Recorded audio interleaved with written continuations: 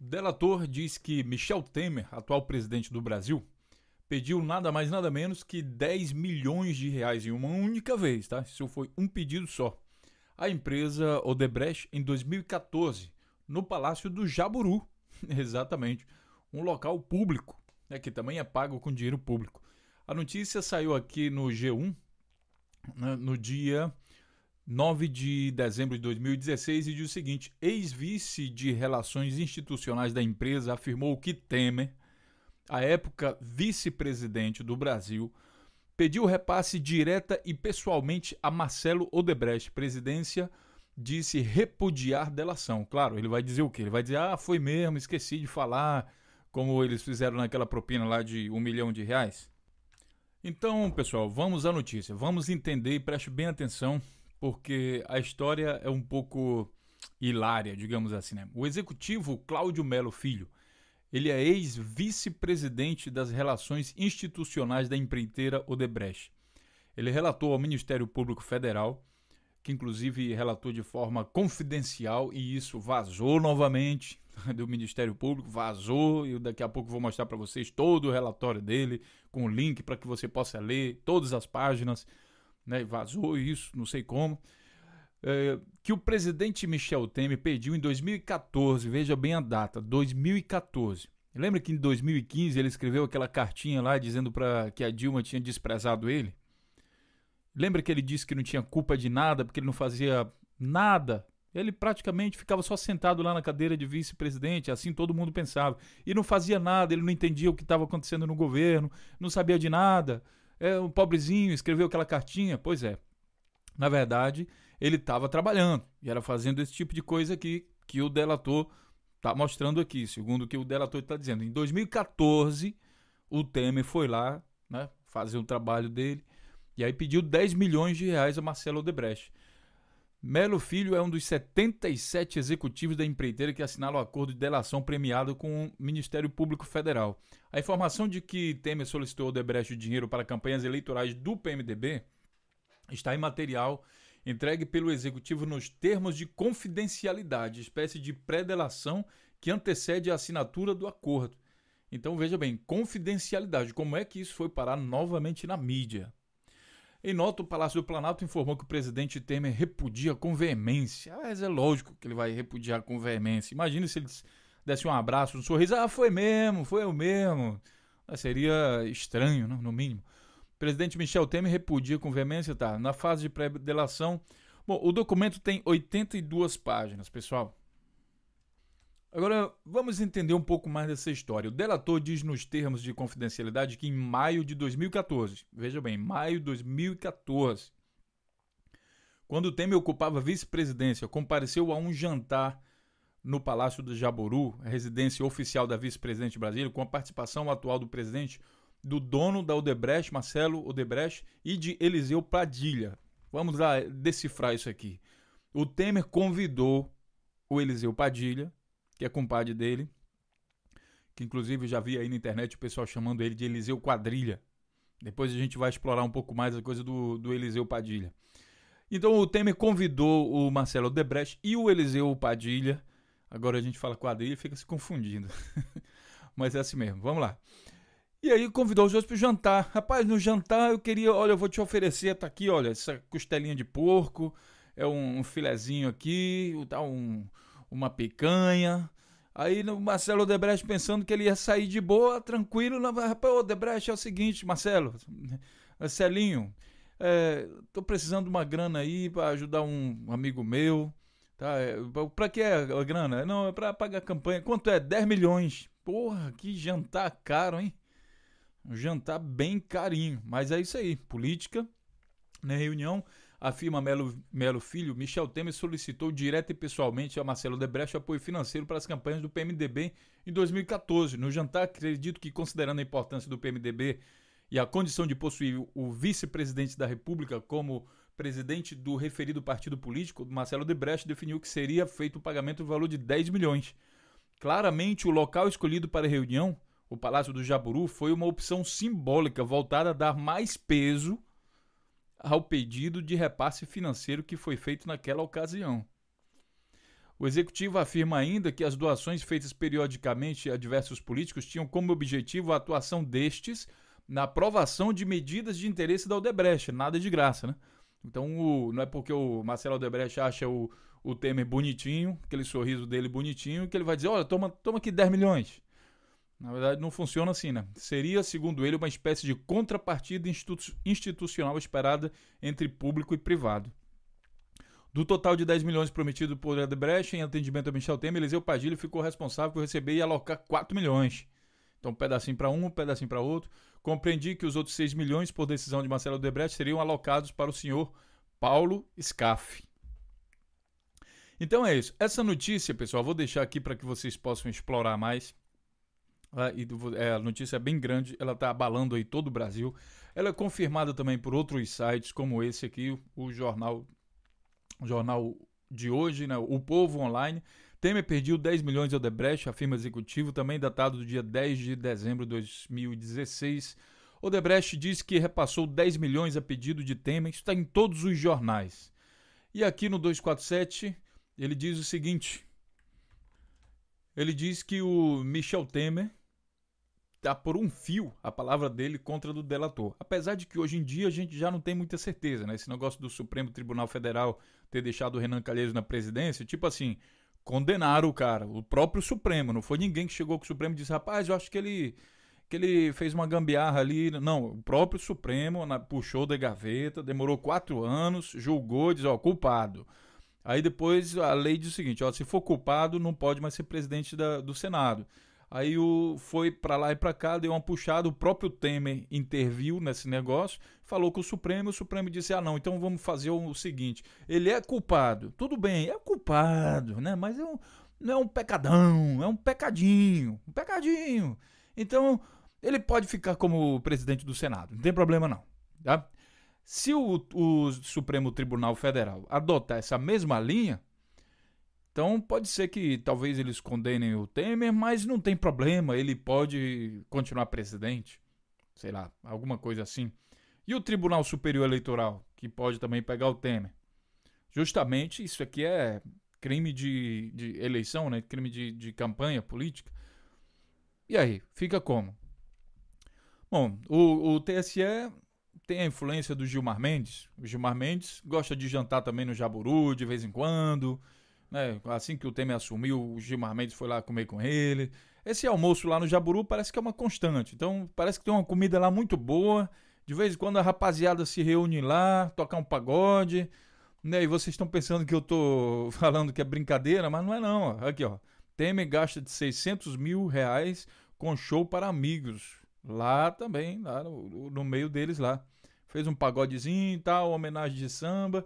E de vez em quando tem umas festinhas lá na casa do Temer. Pois bem, Temer estaria por um fio, segundo aqui o Brasil, o, o Brasil 247, que diz o seguinte: delatado da Odebrecht por pedir 10 milhões de reais, dos quais 4 milhões teriam sido entregues em caixa a seu amigo Jorge Yunes, tido no mercado como seu sócio.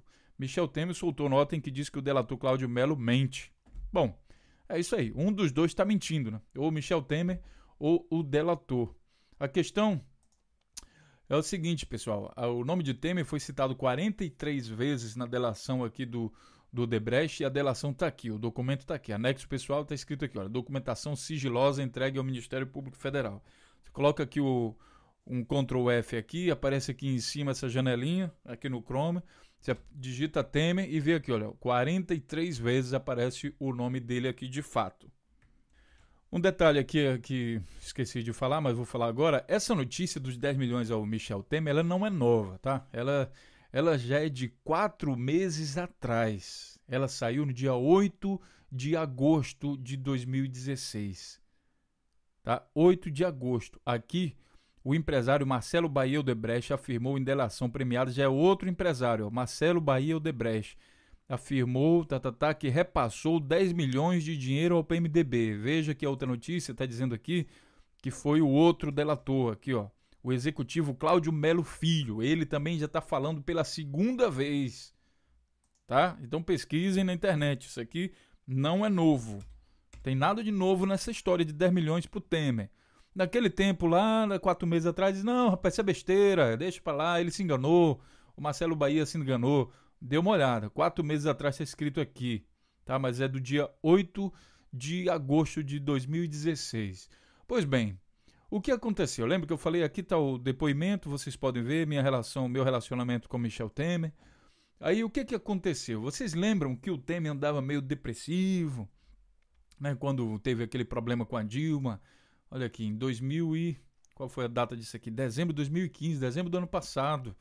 Ele escreveu uma cartinha, carta de desabafo a Dilma. Em vez de, bom, se a carta era para Dilma, ele não mandou para Dilma, ele mandou para Globo. Já tinha um negócio combinado, mandou para Globo dizendo que foi desprezado. Que ele estava lá tomando uma cachaça, sabe, em depressão, porque a Dilma estava trabalhando muito trabalhando demais, andando no Brasil de ponta a ponta, tentando resolver os pepinos, tentando resolver os problemas, tendo que lidar com todo esse tipo de gente que hoje aparece na delação premiada. Todos os líderes do PMDB que faziam parte também do governo PT, né, que eu acho também, na minha opinião pessoal, que foi uma péssima escolha é uma, é uma necessidade da democracia. Você tem que governar com a maioria. E o PMDB está ali. O PMDB se oferece para todo mundo que está no governo. Prova disso é Renan Calheiros, que sempre apoiou todos os presidentes, né? mesmo que tenha de linhagem diferente. Então tá lá, democracia é isso. Só que, sinceramente, olha o saldo que o PT teve dessa aliança com o PMDB. Enquanto a Dilma estava trabalhando, o Temer estava escrevendo cartinha. Olha aqui, pessoal. Tô, eu tô depressivo.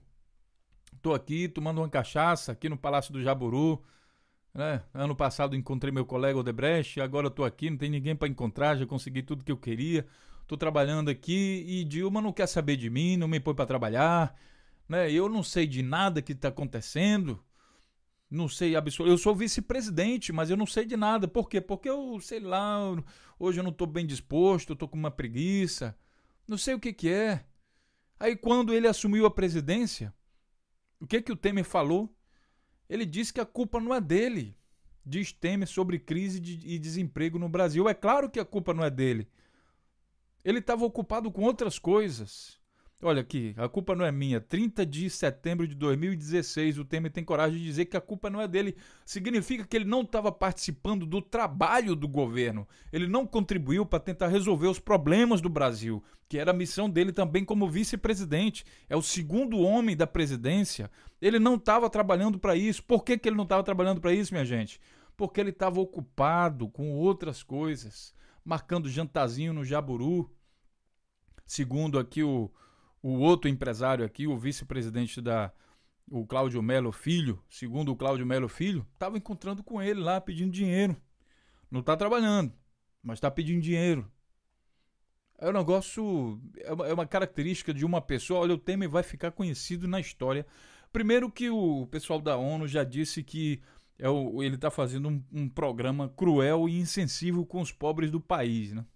Como você está vendo aqui, a própria ONU, a Organização das Nações Unidas, que representa 193 países do mundo, falou de lá da ONU e disse: olha, esse governo está fazendo uma medida que é contra os pobres e afeta, prejudica aí os direitos humanos e está violando os direitos humanos. Justamente hoje eu estou fazendo esse vídeo, que é dia 10 de dezembro de 2016, Dia dos Direitos Humanos. Sai uma publicação dessa da ONU, saiu um dia antes.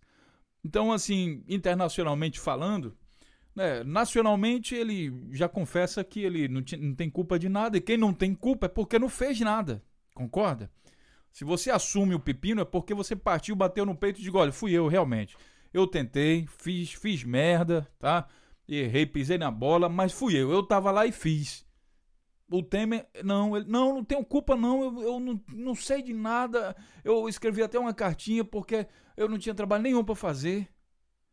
É esse tipo de gente que está governando o, o nosso querido Brasil hoje em dia. Michel Temer.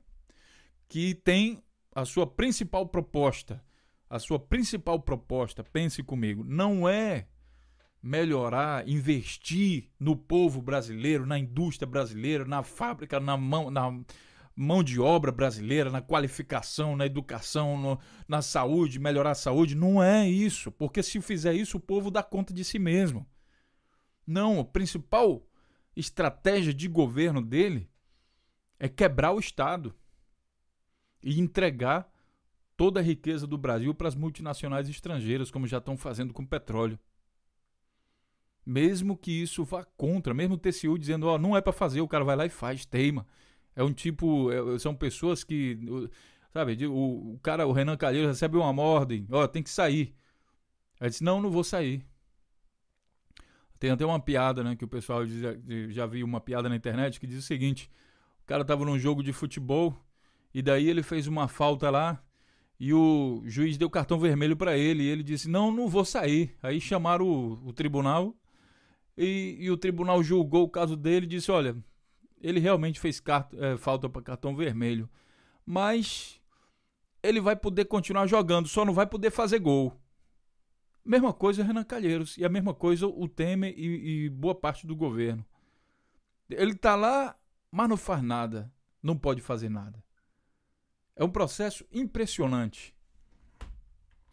Agora, quando você pensa que já viu de tudo, amigo, o canal Notícias Comentadas, que vai comenta sempre as notícias dentro do contexto, ele vai mostrar uma outra coisa que para você que também é no mínimo bizarro.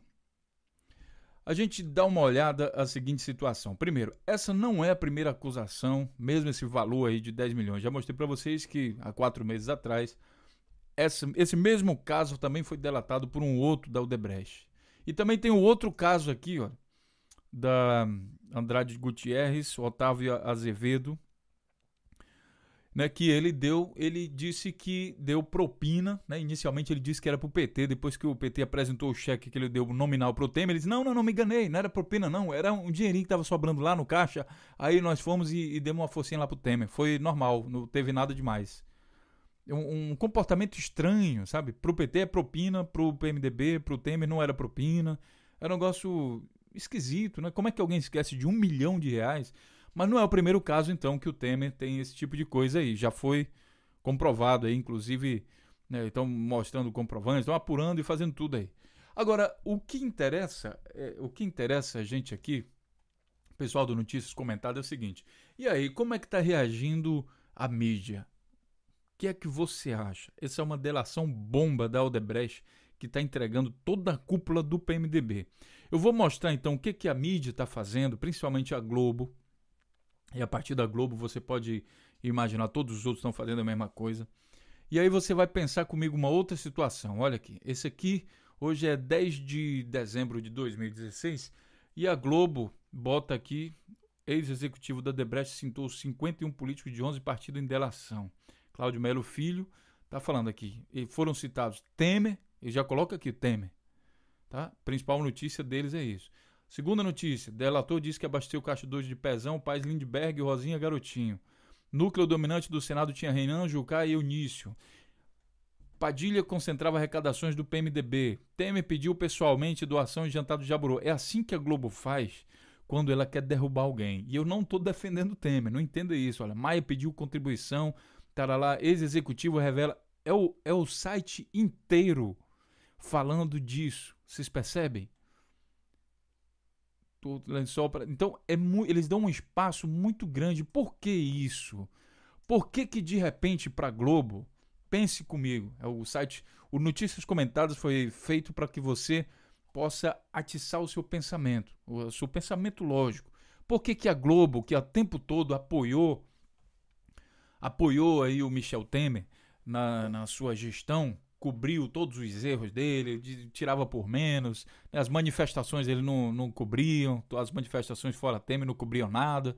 Por que que de repente, de uma hora para outra, a Globo resolveu fa fazer isso? E aí eu vou lembrar vocês novamente da data de hoje, 10 de dezembro de 2016. Vocês vão lembrar o seguinte, de um vídeo passado que nós aqui do canal Notícias Comentadas publicamos, diz o seguinte: Temer pode não completar o mandato. Lembram que nós falamos que o Brasil pode passar por uma eleição indireta, que o Temer foi colocado só para ficar mesmo o restante de 2016? Porque se terminar 2016, quando for em 2017, se o Temer for afastado em janeiro, aí muito provavelmente quem vai assumir o controle do país são os golpistas maiores, que é o PSDB. Justamente esse camarada que aparece aqui, ó, ele que inicializou todo esse processo. Nós temos falado aqui que o PSDB jogou purpurina no PMDB, sabe? Jogou principalmente no Michel Temer. Ele na vaidade dele, oh meu Deus, eu vou ser presidente, vou tirar poder, vou poder tirar aquela foto, mandar pro papai, pra mamãe, eu com uma faixa de presidente, vai ser tão bonito.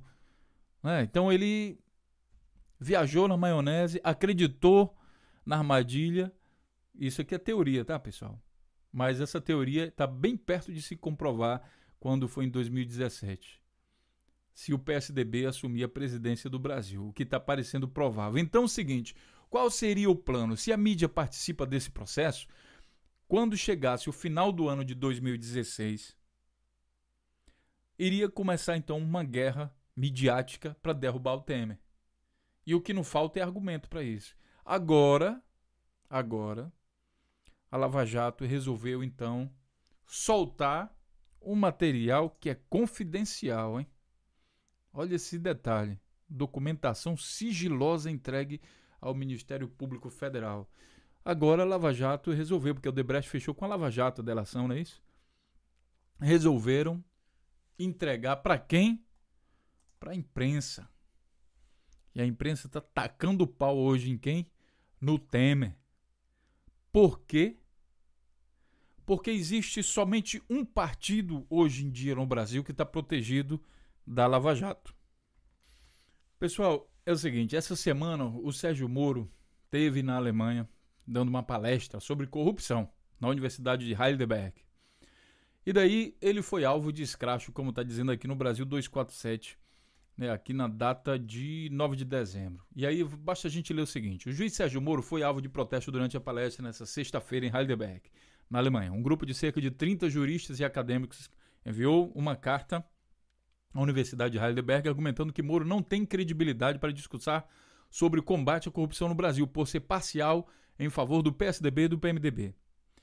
Na plateia, brasileiros levantaram cartazes com dizeres Moro na cadeia e parcialidade fere a democracia. Perguntado por que divulgou os áudios de escutas telefônicas de Dilma, Moro afirmou que as pessoas têm o direito de saber o que seus governantes pensam. No entanto, pessoal, quando é pra, quando foi aqui do Temer, ele proibia os advogados do Cunha de perguntar qualquer coisa. Ele interrompia e dizia: "Não, não, não, não é para falar sobre isso não. Esquece isso. Ei, rapaz, para com isso, tá doida? Não vai falar sobre isso não."